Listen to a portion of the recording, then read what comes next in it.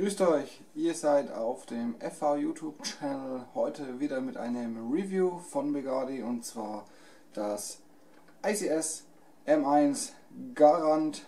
Quatschen wir nicht lange rum, nach dem Intro geht's los.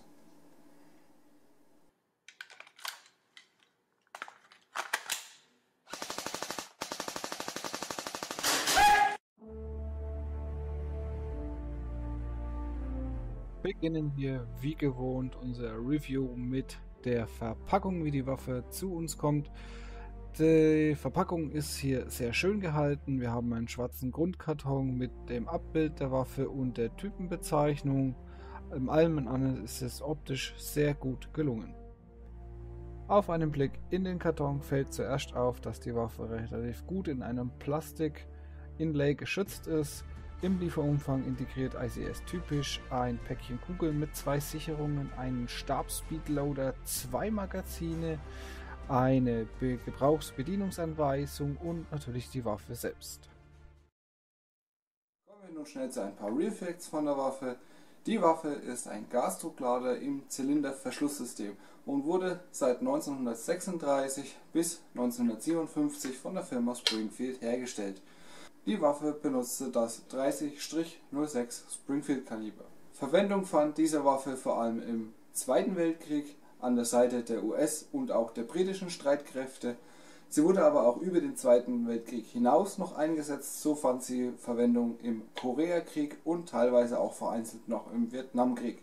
Typisch für das M1 Garant war das Nachladegeräusch, wenn die 8 Schuss aus dem Patronenlager verschossen worden sind ertönte beim Auswurf des Ladestreifens das klassische Genau. So, nun genug vom Real-Stil von der Waffe, gehen wir rüber zur Airsoft-Waffe. Der Hersteller hier ganz klar ist ICS, wie im Intro schon angesprochen, der Importeur in dem Fall bei uns Begati. Das Hotbob ist einstellbar, die Materialien hier Metall und natürlich Echtholz, aber dazu später beim Body Parts mehr. Magazine sind im Lieferumfang zwei Stück integriert, zwei Low Caps, A70 Schuss. Die Energie, die hier vom Hersteller bzw. vom Begadi angegeben wird, sind 1,7 Joule. Das haben wir natürlich im Schusstest für euch nachgekront. Gesamtlänge der Waffe liegt bei 1100 mm, das Gewicht bei 3500 Gramm. Der Preis für die Waffe sind doch stolze 469 Euro. Kommen wir nun zu den Bodyparts von der M1 Garant. Dafür hole ich euch wie immer näher an die Kamera. Von außen macht die Waffe auf jeden Fall ziemlich was her. Wir haben Metall-Außenlauf, genauso das Korn und das Untergestänge, eine Echtholzabdeckung des Laufes, darunter Stahlösen für den Sling, weiterführend mit einem Echtholzschaft, genauso wie einer Echtholz-Oberschaftabdeckung. Weiter hinten dann der Metallabzug und der Upper Receiver aus Zinkdruckguss gefertigt. Am Schaftende finden wir auch noch eine Metallabdeckung.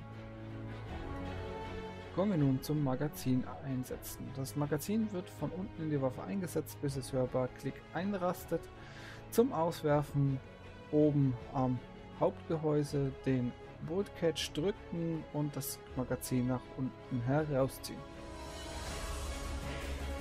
Kommen wir nun zu den Markings. Die Markings sind schön aufgebracht. Unterhalb der Kimme befindet sich das traditionelle M1 Garant als Artikelbezeichnung Begadi Kaliber 6 mm BB und das F im 5-Eck. Ebenfalls auf dem Hauptgehäuse hinter der Kimme schön eingelassen noch zu sehen US Rifle Kaliber 30 M1 Springdale Army und eine fortlaufende Seriennummer. Kommen wir nur noch zur Visierung. Die Visierung ist bei der Kimme hinten einstellbar in der Breite und in der Höhe. Das Korn jedoch vorne ist starr und nicht einstellbar. Das Hop-Up wird an der Oberseite eingestellt, da du den Bolt zurückziehen, dann offenbart sich schon das Hopper-Brädchen. Durch Drücken des Bolt Catches bleibt dieser auch in der hintersten Position. Widmen wir uns noch schnell dem Akkufach. Das Akkufach ist im Stock untergebracht. Durch Öffnen einer kleinen Klappe offenbart sich schon der Tamiya Mini-Stecker. Kommen wir nun zu den inneren Werten der ICS M1 Garant.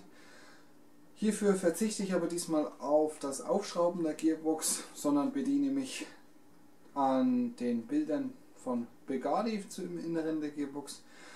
Grund ganz einfach dafür, bei ICS gilt prinzipiell Don't Touch a Running System.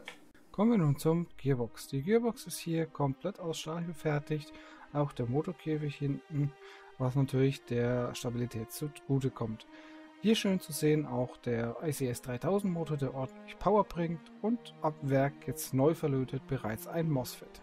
Schauen wir ins Innere der Gearbox. Im Inneren befinden sich hochwertige Stahlgears, die Bevel und Pinion Gear bereits äh, pulververstärkt sind dann haben wir einen normalen Messingzylinder, ein äh, Metallzylinderhead und ein Kunststoffnozzle. Die Pisteneinheit hier ist ICS-typisch hochwertig verarbeitet. Wir haben einen Kunststoffpistenhead mit sechs Kunststoffzähnen und sieben Stahlzähnen. Am hinteren Abschluss befindet sich dann noch der Kunststoffpistenhead, der das Ganze mit acht Ventilationslöchern gut abdichtet. Und das äh, Spring Guide der hier aus Stahl gefertigt ist, arbeitet in Verbindung mit der 120er Feder einwandfrei. Kommen wir nun zum Lauf. Der Lauf ist ein 6,04 Tuninglauf von ICS. Mit Verbindung mit der Hop-Up äh, bildet das sehr gut ab und lässt sich bequem durch das Rädchen einstellen. Kommen wir nun noch zum Schuss und zum Chronotest. Wir haben das ganze Test geschossen auf 35 Meter mit 0,25 Gramm Bio-BBs. Gekront haben wir das Ganze mit 0,20 Bio-BBs. Was dabei rauskommen ist, das zeigen wir euch jetzt.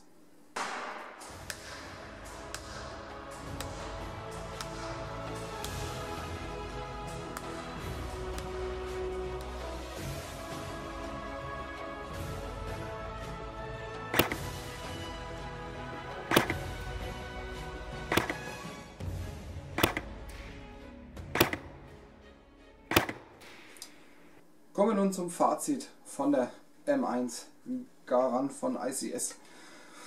Was machen wir dazu sagen? Also wie gesagt, es ist ein sehr schönes klassisches Gewehr. Ähm, die Optik macht auf jeden Fall übelst was her. Die Internals, wie wir gesehen haben, beziehungsweise die Schussergebnisse sind auf jeden Fall nicht von schlechten Eltern. Im Gegenteil, ich würde sogar sagen, fast ein wenig im gehobenen Bereich.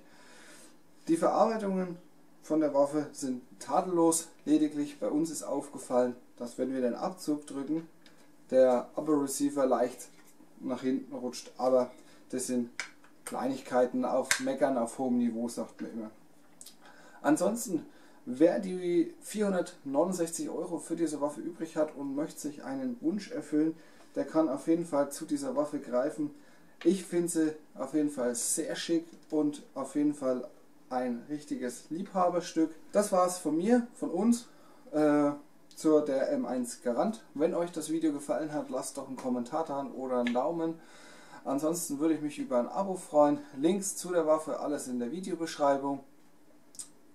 Und jetzt hat das klassische Tschömerö, euer Hobby FV. Macht's gut.